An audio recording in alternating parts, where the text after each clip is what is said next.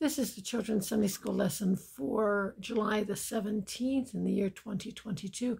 It's called The Good Shepherd. The memory verse is I am the Good Shepherd.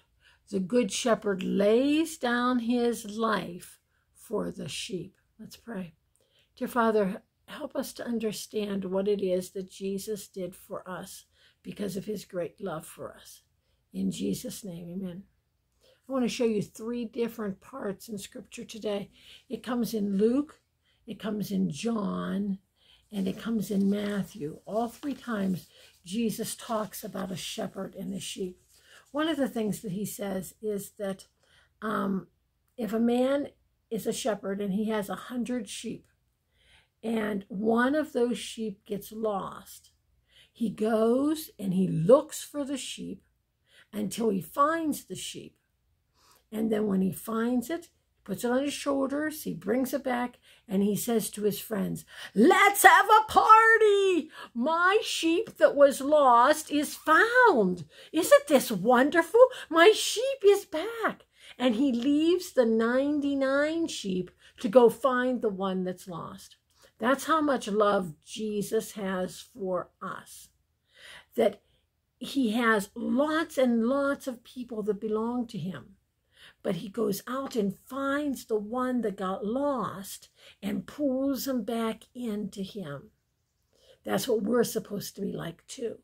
Who do you know that used to come and now they're lost? We can't find them anymore.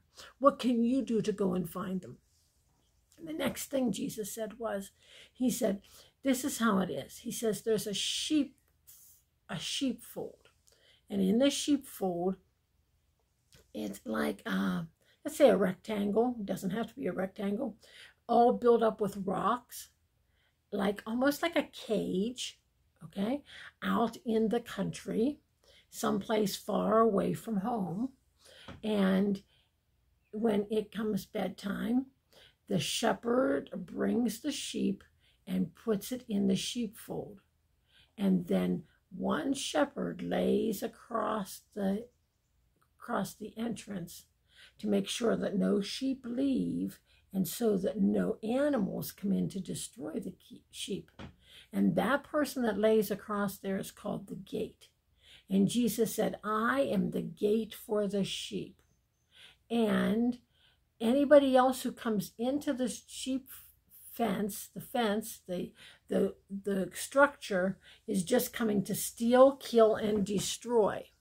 But I am coming to protect my sheep. If a hired man were to lay there and a robber would come, he'd just run away. But these are my sheep, and I am the good shepherd, and I lay down my life for my sheep. No one forces me to give up my life. I lay it down on my own because I love my sheep. That's how much Jesus loves you. He loves you so much that he laid down on the cross to die for you because of his great love for you. It's a lot, isn't it? He also said that, um, oh, that the sheep hear his voice. Can you do voice with me? The sheep hear his voice and will follow him. So when the shepherd comes to the to the enclosure where the sheep are in the morning, there might be sheep in there from two or three different shepherds.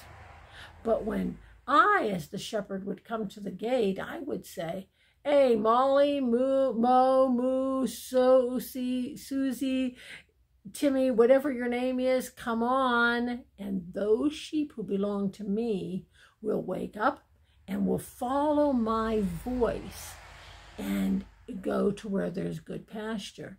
They won't follow the voice of another shepherd because they don't know that voice. Jesus knows our name, and we hear his voice and we know him. That's how we know to follow him. Um, that might be all. Let me think.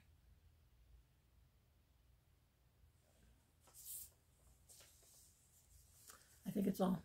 Dear Father God, Help us to realize what a great sacrifice you made when you laid down your life for your sheep.